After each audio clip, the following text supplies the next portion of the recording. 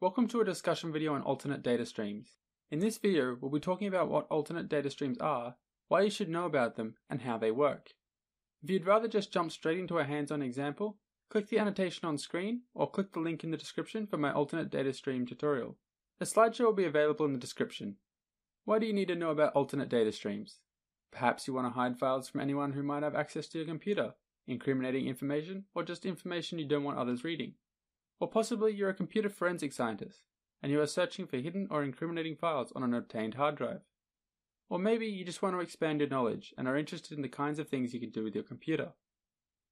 So, what are alternate data streams, or ADS for short?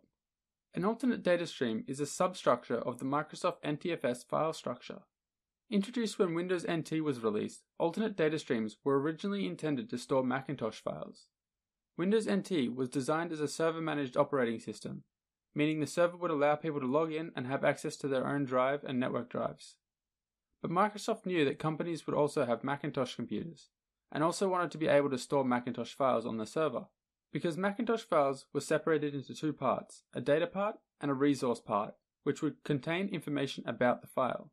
Due to Windows remaining friendly to interact with the file system, these extra data streams are hidden from almost all Windows applications. So what can we do with them? Inside an alternate data stream, you can store any type of file that could be stored in a default host data stream, for example, text, image, video, or even malicious code. You can also store files inside a folder's data itself. Normally, a folder is just an icon to take you into the next directory. However, a folder is actually a file on an NTFS data structure. However, the default data stream contains a bit of data that tells Windows this is a folder to this directory location which means you can store data in its alternate data streams. If this is a little confusing, that's okay, because thinking about alternate data streams is something that you may only be learning about for the first time.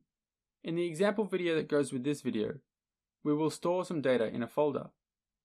You can also modify a file's metadata or summary data, as Microsoft calls it, such as author, title, etc. Finally, you can use it for denial of service attacks. You may ask, well, how does that work? I thought denial of service was a server thing where a server can't handle your request. It's well understood that a full hard drive can't store any more data, so it tells you, sorry, can't save that here, I'm full. Hard drives can sometimes begin to perform terribly when they are full, especially if they're large. There is no limit to how much data can be stored in an alternate data stream, so you can fill up an entire hard drive with data in an alternate data stream. In the next slide, we'll see why this is so devastating. The interesting thing about alternate data streams is that their file size is not included in the file size shown by Windows. That's correct, our denial of service will fill the hard drive and the user will have no idea where the large file taking up their hard drive is. You may have a 1 kilobyte text document, but hidden in an alternate data stream is a 12 gigabyte 4K video. Another very interesting trait of alternate data streams is that it does not change a file's checksum. A checksum is usually an MD5 or a SHA-1 hash of the file's bytes. But checksum tools ignore alternate data streams. So you could place malicious code in an alternate data stream and not have the original checksum be changed. Something to keep in mind when working with alternate data streams is many formats and tools will ignore alternate data streams.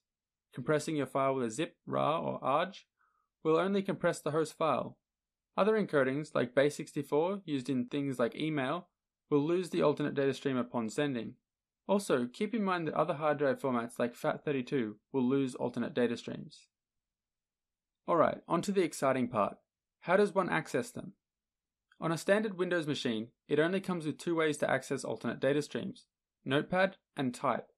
In addition, you must know where the alternate data stream is stored to access it. Windows by default cannot detect or delete alternate data streams that you can create.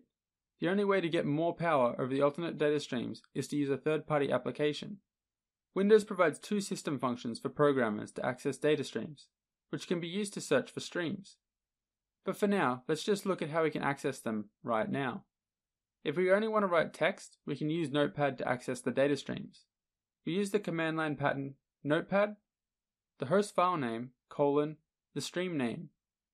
If we want to move an image or a video or executable into an alternate data stream, we use the command type, like so.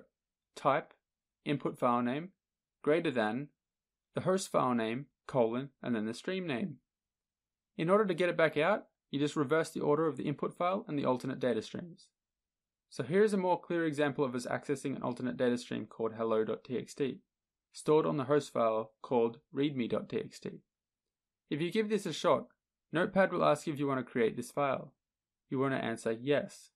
Then you can save anything you type like you would a normal Notepad file. You can then access the file again by repeating the above command.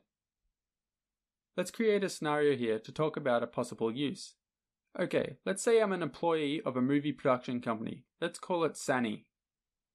I'm a little disgruntled and I didn't get that promotion after I dragged the project over the finish line and saved the day.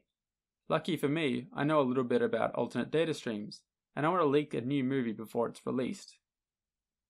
One day, I bring a USB into work, empty and formatted as an NTFS drive. I ask my boss, hey, is it okay if I put my work schedule onto my USB to take home? I really want to go through it and put it all on my calendar at home. Sure, the boss says, and gives me the go ahead. I copy the movie into my calendar's alternate data stream and take it home on my USB. I get home, wait a couple of days, and release the movie onto the internet for anyone to download. Send out press tips, delete the legal file off my USB, and wait for the panic to set in.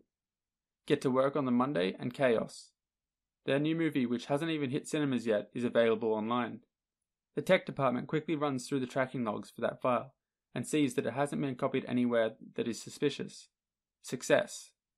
Granted, this fictional scenario would work for small companies. A big company with money would be able to hire a computer forensic specialist to do a proper search and you would eventually be discovered.